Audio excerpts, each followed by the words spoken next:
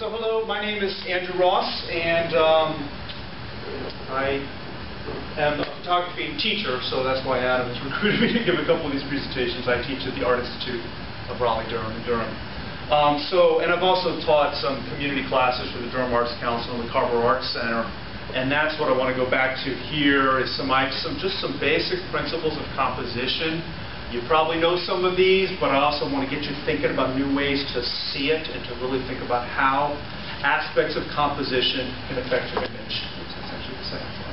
Um, so um, these are the things I'm going to, and, and, I'm going to show you just a bunch of images. I'm going to, you know, just go through them just for a few seconds each. Um, they're all um, top name photographers except for some of mine. so I threw a few in there because I wanted to show some very specific things, sort of a before and after with some of them, or, or some very specific aspects. Um, but you'll see I've got you know just a lot of really you know top-notch photographers in here. Uh, I need to go through and find the names for some of these. I got names on some of them, and some of I, I these are old. Some of them are old pictures that I can't remember who took them yet.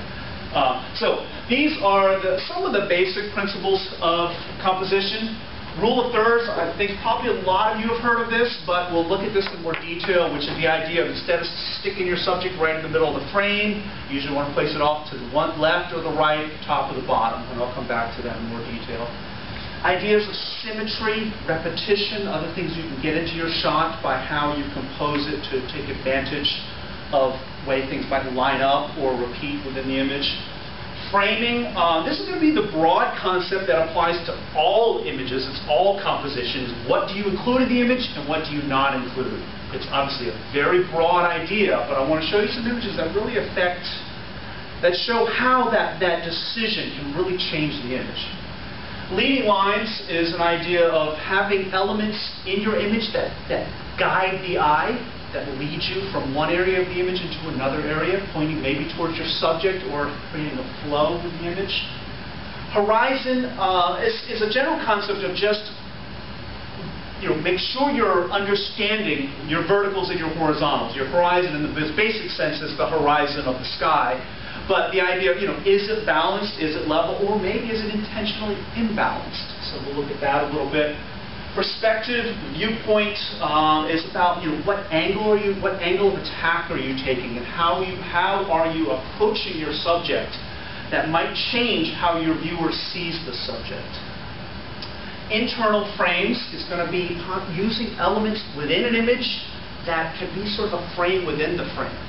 Um, that can draw more attention to something because you've outlined it in a certain way or divided your divided the overall image into sections that, that um, change the relationship within the image. And then shapes and form is you know, just coming back to the ideas of geometry and other shapes that are that can be comfortable or can be you know or can help you know define and offset your image. Um, so I want to show lots of examples of each of these, and then I'll talk a little bit more about them as we go through. Um, so the first thing just to think about is the idea of, think, of, of working on your composition is to think about how to create a dynamic image. This is an image that's going to it's going to enhance your subject. It's going to draw your viewer in. You want to grab your viewer. You want them looking around the image, and you want the other aspects of your image, foreground, background, middle ground, things you know that are off to the side. They should all enhance what your subject is, what you're trying to say. So you're, you're taking it as a whole and not just, let me, you know, let me, uh, you know, take a picture of this snail and, you know, whatever's around is around it. Well, no. Think about how do you want to, to play with, with what else is there in that image to really define, as I say here, your interpretation. Okay? So that's a big part of this, is, is making it your own image and not just the image that anybody could get because they happen to be standing with a camera. Like you're you're defining this. Okay, so back to rule of thirds. So here's the basic principle, thirds. Top third, bottom third, left third, right third. Okay, instead of sticking your subject right in the middle, you usually want to kind of put stuff off to one side or the other. And even in particular, and this you'll find this is pretty true with almost any image, these points of intersection are the strongest areas in your image to have your subject. Okay, so having your subject you know, here in this top third, uh, top left, bottom left, bottom right, top, top right. And, you know, don't think this has to be exact. You know, don't get out your ruler and measure this and say, okay, now that's exactly one third over. But the idea is get out of the middle. Get out of the middle. Yet, on the other hand, and I'm going to come back to this, there are also times when you don't do that. It's going to change the weight of your image. It's going to change the feeling of your image if you ignore the rule of thirds and, for instance, throw your subject way off on the side or put them smack dab in the middle with purpose. Okay, so here's the basic rule of thirds. This is an Edward Burtynsky image. Um, and, you know, basically he's put his train track down there at the lower third, and he's got this cliff rising up in these trees above that train. And obviously this image is going to have a different power, a different weight of the land over this train than it would be would if that train were right in the middle. Uh, notice he's also He's used a little bit of this bottom right third because he's got his train here, although interestingly, it kind of comes to the middle. So he's working in this in-between area where he's bisected the image with the front of the train, yet the train as a whole, you see it in that bottom right corner. Is the subject really the train? I think, no. I mean, I think the subject is what you want to make of it. I just say that's a point of focus. It's not like saying this is what you should look at. And in fact, I think this is the subject. I think that- But this is a point of focus, and I think this point of focus is what Exactly. gives It weight. it emphasizes Yes. the size and grandeur of that. Exactly, and it, it emphasizes essentially the danger of this cliff and these, you know, this erosion right above this tiny little train. Uh, Thomas Dezeau, uh, both of these are large format photographers. I actually got a lot of um, large format photographers in here just because that's something I look at a lot. Um, but you see here, you know, his, his horizon here is a little bit below the middle. It's definitely not the lower third. He's got this horizon here, but his subject is in this bottom right corner. Um, walking out of the frame, that's also going to be a big difference, is if you place a subject on one side or the other, are they facing into the frame as if they're moving into it or facing out of the frame? Uh, oh, and I have to give one little caveat here. I, you're going to see a lot of um, a lot of these images have people in them. Uh, it's just, uh, it's, for one, it's what I have a bank of images for that I teach from, and I know some of you are just like love flowers and, and nature without any people in it. Um, but these same principles apply if this was a flower here, right? You know, if you wanted to take this bright red rose um, or a bed of flowers with a bee in it, it's the same principles apply. Okay, so. Um, this is some of the ones that I'm not sure who took these images. I need to look it up. But this is, you know, very strong use of rule of thirds. I mean, very defined bisecting the image here and then placing the subject off to the side. Much different feeling because the subject is facing into the image instead of instead of out of the image. Also a little bit more introspective, looking down. Now here's, here's a similar subject. Again, pushing off to the side top third, you know, again, none of these, you know, th these photographers are not taking it out of rule. It's, you know, the third would actually be more like here than here. Um, but, you know, actually those eyes, those eyes fall pretty near that intersection. And the other thing you have here is the hand, okay? So now you have, now you're using two of the corners. We use the top left corner and the bottom left corner. You can see that in some of these other images. It's, it's much more dynamic if your eye can move between different elements of the image and continue to read it, look down at his hand and then maybe follow the body back up or see the way this pillar arcs around her head.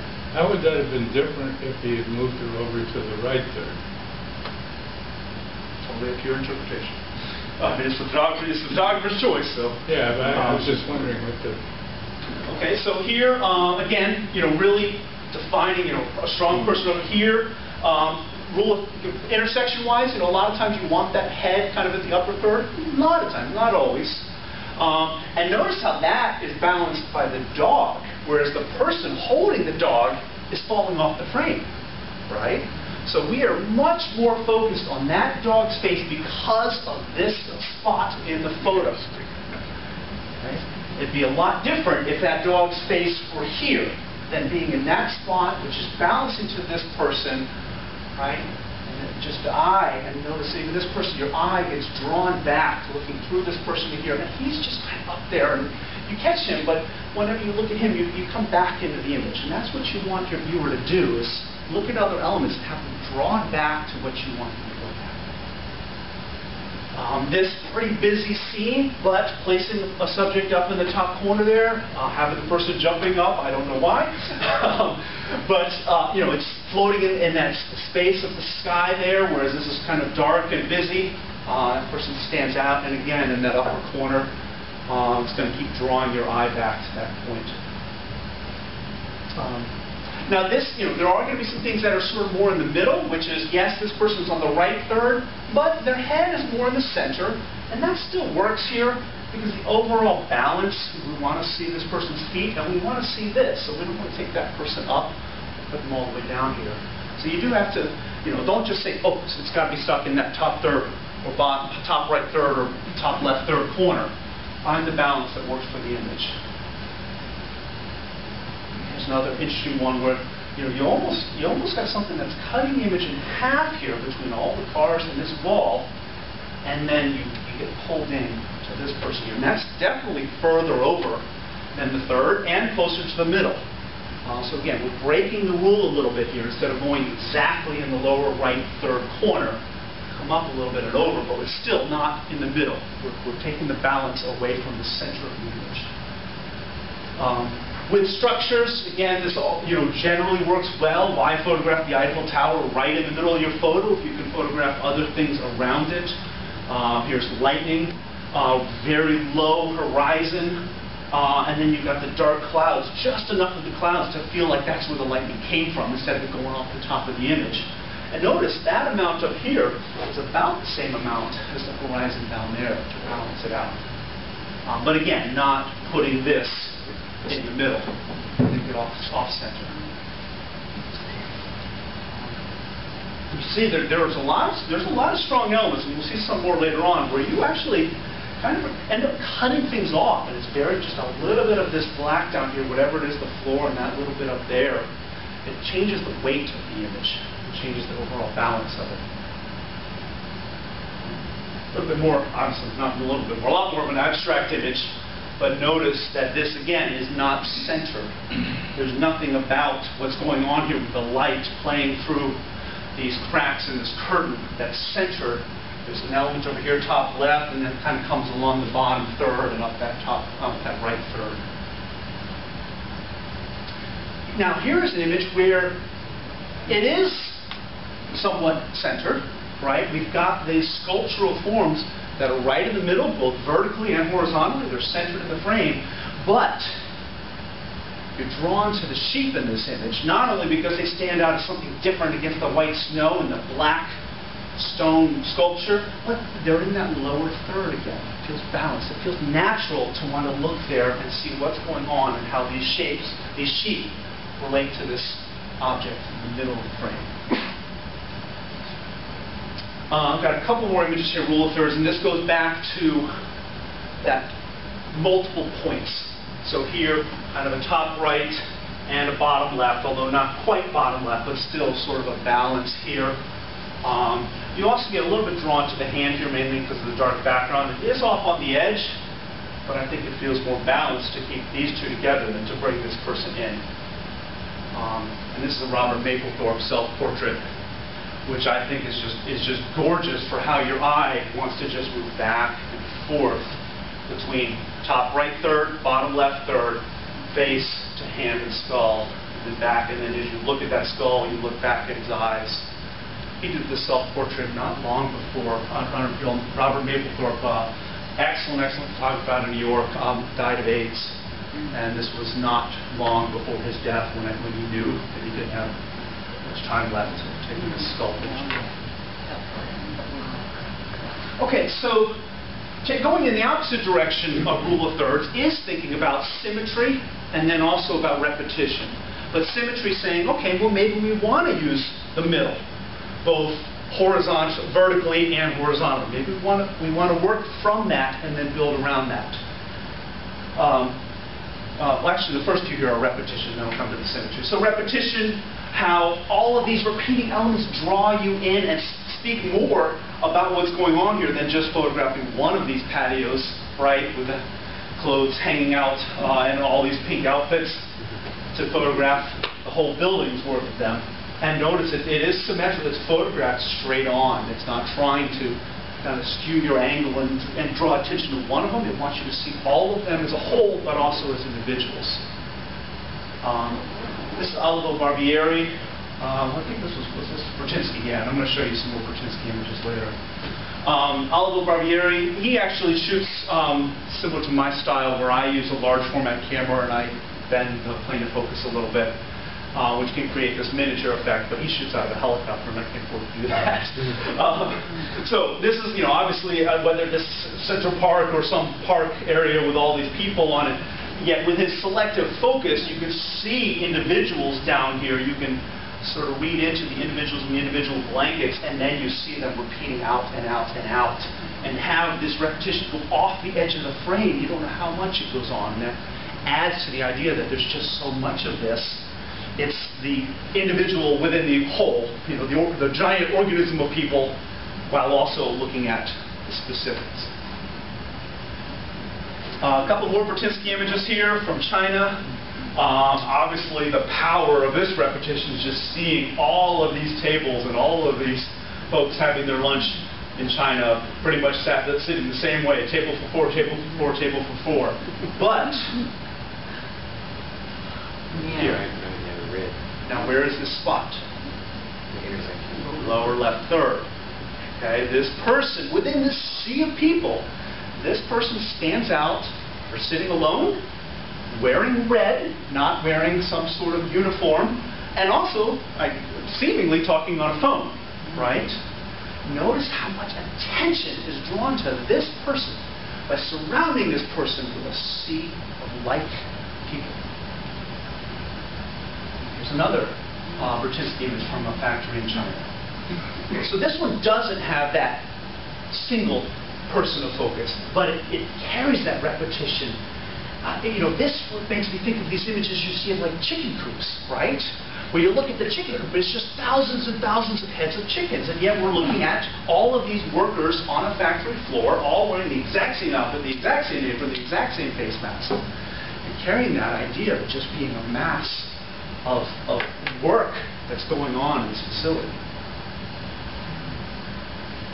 Um, now, this a couple more Burtynsky images. He, he also does a great job with symmetry, and we saw some symmetry in those last two images here, but obviously now we're more focused on the symmetry, how it's light guiding the eye, how he bisected the image with that smokestack and then brought the buildings in equally from both sides. Yes, there's some variety down here, and that variety stands out the more because of how symmetrical and how even these two parts are. Then you start looking down here and seeing what is different. When so much is the same, you're more likely to see what is different. Um, another element, uh, now this one's not quite as perfectly even, but it has that symmetry. Both sides and that fallen out ceiling, burned out building are drawing you down to this building in the back.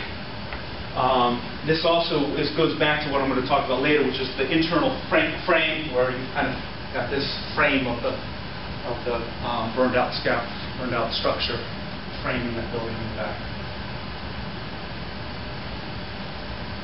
Another one again. Notice as the windows come in on both sides and the ceiling comes down symmetrically, and then down here, drawn to this. And you're going to then see what elements bring you into that space. Uh, this is Alex Soth. Now this is a little bit of different. It's not quite as like perfectly symmetrical. Like let's line it up. Let's look at things left and right. But there's a very strong balance in this image. One third of the image is a parking lot. One third of the image is hotel, and then one third of the image is the sky and these clouds. He's giving them all equal weight, and it feels like a really heavy image with these clouds. They're, they're rising up, but also kind of weighed down on top of this. And part of that's how much weight he's giving to each of those, how much he's using the symmetry. And also the symmetrical aspect of he is, you know, put this right in the middle. Um, it's a little bit low because that's kind of horizontal center, so this is a little bit low, but the way that pulls in. Um, this is Alexia Sinclair. This is the only one that I put in that's more of a um, this is, you know, obviously a montaged image. She's an artist that uh, really works in sort of a fantasy way with working from the real. But I like, again, the symmetry here of these book stacks at the back and all of these um, beams in the ceiling really drawing your attention to this person symmetrically right in the middle. Using a little bit of rule of third, bringing his head up a little bit above dead center. Uh, but notice he's not centered. His head is not in the middle, but his body's not in the middle.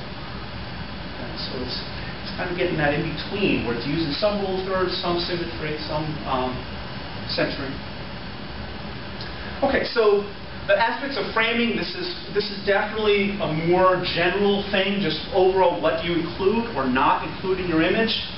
Um, and so I, I, you know, the examples I'm pulling out here, I just want to show you how much of a difference it makes. To, you know, you're looking at this street, you've got this person carrying some wrapped up package, but you've also got the train in there. You've got the arches and the train. I mean, all of those really become equal weight in this image, and they are. They're, none of them are the subject, yet they're all the subject. Right? We need to see all of that in order to appreciate this image. Um, and carry out what's going on in the scene. Even even these people in the background walking away, all of this. Here, you know, it's it's almost a portrait of this person. It is from behind, but we're really focused on this person and the notes he's looking at. I assume he's a choreographer. And yet, you know, well, we, we, I assume he's a choreographer because of the photographer choosing to include these dancers, this dance floor, this dance mirror, this space that helps define what am I looking at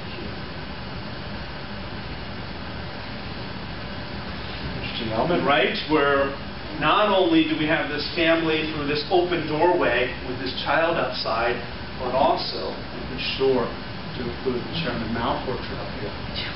Right? Totally affects how we see this image.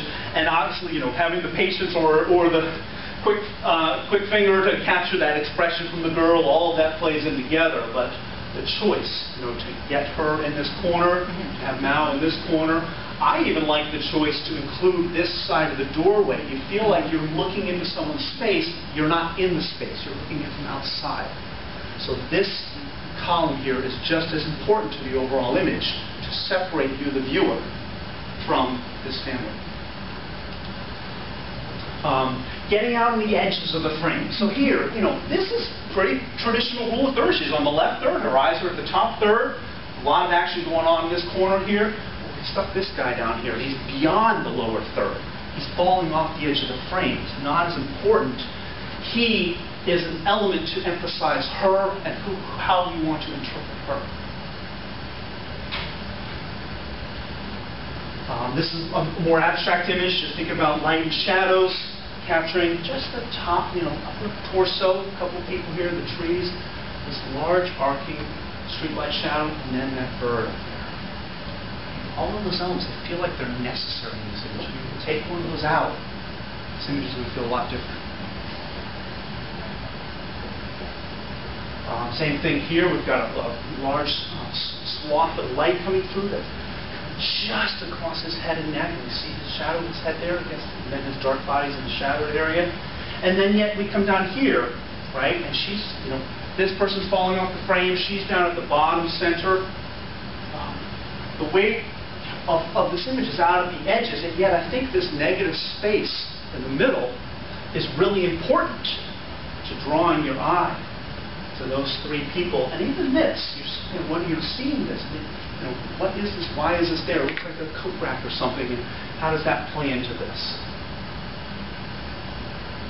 Um, so um, this is uh, Garry Winogrand. I think this is um, I think this is the, the, New York Zoo uh, years and years and years ago, uh, probably in the 70s for Garry Winogrand.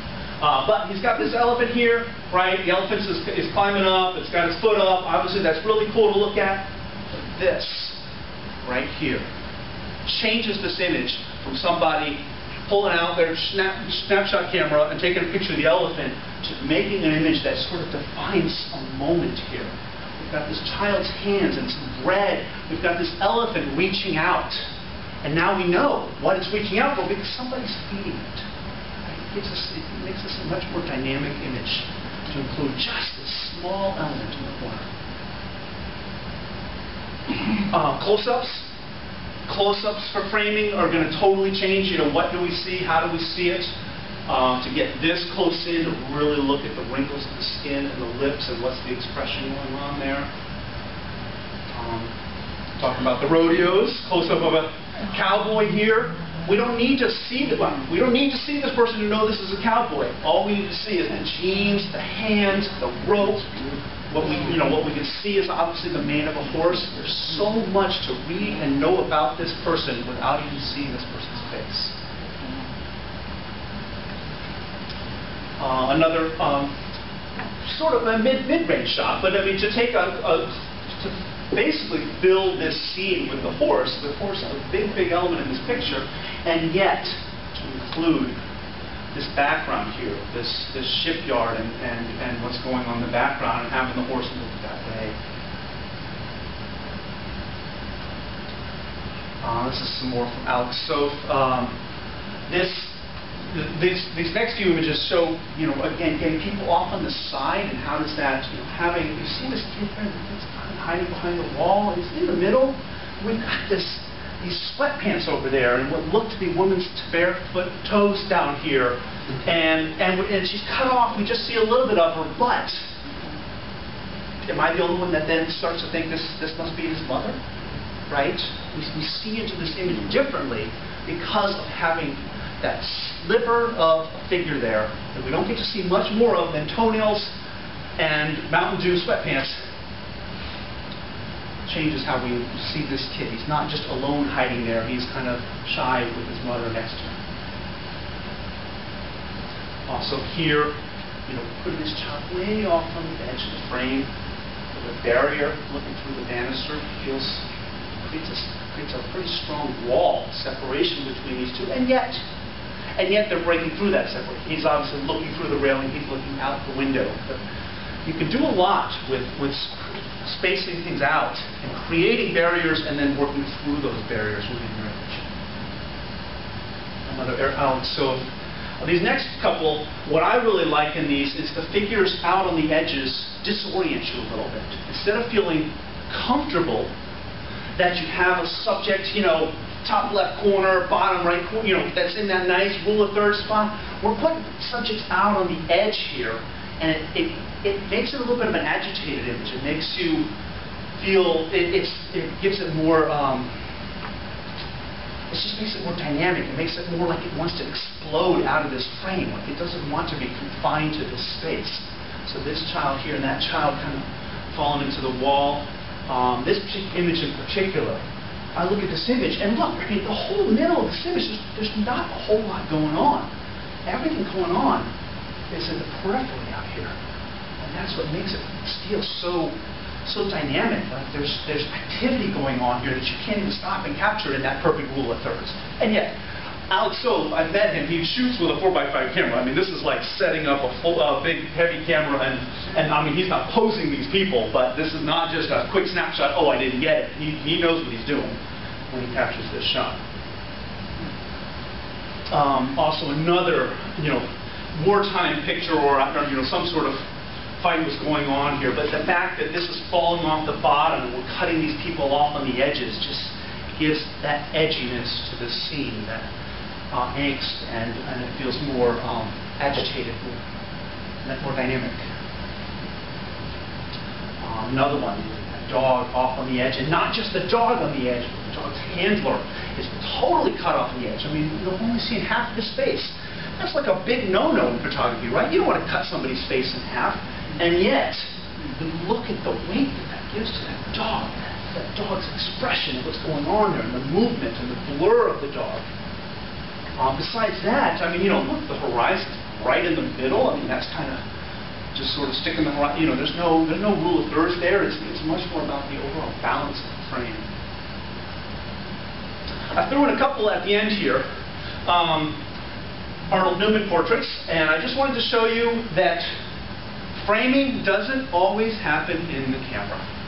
These are two very famous pictures by Arnold Newman, and this is Picasso.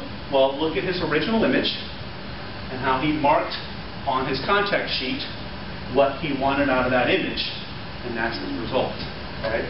So in his initial image, he you know framed this in a much much different way, but then made this choice. And he not only cut it really tight, he also actually straightened it out a little bit. You can see that, right? Now that you look down here, you can see that he was leaning a little bit this way. Well, he wanted to straighten it back out. And then the very famous picture of Stravinsky, um, where, again, look at the original shot. The original shot includes the full piano. We see more Stravinsky. We see his right arm and his hand coming down. But I totally agree with Arnold Newman here that that didn't add anything to the image. So cut it out, what he, what he left was left with was this little sliver along the bottom, and then this large element of the piano cover with a one-third, two-thirds split of grays in the background. Okay, leading lines. Leading lines are just basically elements in your image that guide the eye um, from one area to another. Uh, sometimes they're pretty specific, like the lines of the streets coming down here in another Olivo Barbieri image, and how it draws you down to this plaza and how he's focused on the obelisk there. I think this is in Rome. Um, here you see the intersection of all these pathways. The fact that this person is standing here, with this line coming in, and in the middle of this path, can feel much different than if this person were on this corner. It would just have a different weight to it. To put him in the middle of that, he feels more steady, more stable in that space. Uh, this is an Alec Soth image. Um, I like the lines in this because they, they guide your eye around. You've got the clothesline. You've got this walkway line here. This is a boathouse on a frozen river, and he's got this little walkway through the water. Got this coming up that's taking you into this tiny little one-room boathouse. And all those lines, your, your eye wants to keep looking around, and then perhaps another line, and it follows that line, and it looks over here, maybe it looks down here, and that line brings you back up. That's what leading lines are for, is to just keep guiding the eye through the image. Um, this is a, another Olivo Barbieri. This is from Niagara Falls. Um, no, maybe, this is Victoria Falls. Um, but this is this is a much looser line. I just want you to, to look at how, when you look at this waterfall, which is in the background, out of focus, misty, the waterfall comes down, and here's your view, right? Anytime you look around this image, you're, you're, you're going to come back down to the waterfall, and you're going to come down here. Uh, Naoki Honjo, also large format photographer. Um, this is a looser one. I just I like that the lines kind of grow out of the bottom of this image. This plaza goes out this way, and it, it takes you up to this arc here, where these lines go out radially from from a, a, a hub, a center that you can't see down there. Another Naoki Honjo image. Lots of lines, lots of streaks. Anytime you have streaks, pathways in the image, the eye is going to follow those paths, right? So be very conscious of where you place those paths. This sidewalk goes right into the corner. It's a strong thing to do with a line, is pull it out of the corner. He's got a sidewalk coming out of the corner. He's got a street coming down out of the corner. It all comes together in this lower right third. Um, and now here's another Burtynsky image where the paths are not nearly as linear, right? We don't have direct lines, but as we look at this mass of recycling, I, um, we, we want to follow the paths. We want to see, we want to follow, they're not straight lines, we just want to follow those paths and see what activity we could follow, walk through in this scene. Um, right? I just looked at my time, sorry. Um, this is not me. This is a different Andrew Ross, that's why I put New Zealand after his name. Um, I just like this image that uh, has this line of light coming down there, down that road to that guitar, uh, person walking across the street with a guitar. Neck here, right, you take from the hand to this hand. To the, we don't see the face, it's, it's, definitely obscured, but we then we sense the emotion of and the eyes that travel up and down along that violin. Um, another Mapplethorpe, uh, he's way off on the edge of the image, but his arm extended out there is going to just, when you look at his arm, it's going to pull you back to his face, even though his face is all the way up in the corner. And this one I think is kind of funny. uh, because here you've got this you know, great face right in the middle, but you have this fountain that's kind of squirting down that, you know, as you look up here, that's going to pull you back to him. And even this guy is going to pull you back up a little bit as well. Um, and I'm going to show you a couple of my images that also, the other thing to think about is leading lines. They don't have to be literal lines. Eyes create lines. You want to look where the eyes are looking in the image. So here's one image I did of, um, of an event in downtown Raleigh with a friend of mine. And, you know, we've got his eyes, he's looking at her, she's looking at him. But then you got this person here that's looking who knows where. It takes you out of the image a little bit. That, that, that detracts from this image. Whereas here's a different image I took, similar setting, three people, but they're all looking at each other. Got her leaning in, she's looking at them, they're both looking back. It, it holds you in that conversation. Um, you want me to? I'm like halfway through this. Well, I didn't realize this was going to go so long. You want me to save it and do some more later, or? Hmm? Keep going, this is great, can we? Do we? you, what do you want? Um, Keep going. yeah. Okay, okay, I'll try to go faster. Um, Okay, horizon, um, thinking about where's that, you know, for one, thinking about keeping your horizon straight. An image that's a little bit leaning just throws you off, so really try to keep your horizon straight unless you want to take people off balance. We'll get back to that. But here also, think about where you place that horizon. Lower third horizon, that tree really rises up above the sky. Here's a dead center horizon. This is that St. Andrew Ross from New Zealand. Dead center horizon, dead center building. Right? Much different feeling than placing that horizon low or high. It just gives a lot of weight to this building. Uh, another Alec Soth, again, a low horizon look at that sky. We're just looking at clouds up there, and there's not a whole lot to look at except for the weight of the gray of that sky and how ominous it is over this bare tree and this little ramshackle house. That's much different than if you placed the house up here with a whole bunch of gra- you know, farmland in front of it just a little bit of sky. Um, a New York City shot, the horizon of the city in the background with lots of water, but to pull in this car here, so raise that horizon up, have the buildings all the way at the top, so you can pull in an element like this in the foreground. Um, Mapplethorpe, I got a, uh, a couple more of his with the flowers, uh, but again, choosing to place that table really low at the bottom here to have, I guess, more height to these flowers than if, if you know, if there was more of a table below them um, back to Thomas Dezo. So I've actually, I think I've got three or four of his in here in a row. So watch, he's playing with the horizon here. Pretty traditional, lower third horizon, lots of gray sky, winter scene. Well, then he pushes it down. Goes a little lower horizon, bottom 20%, with these deer off in this foggy field, snowy sky, right? Pushed it down lower, so there's again that weight of the sky above. And then a similar shot here of this big wall, even lower horizon. Now we're down to about 15% from the bottom. But we've got this trailer down there, and this guy inside of this trailer with this large wall, making that trailer feel so insignificant, having all that weight above it.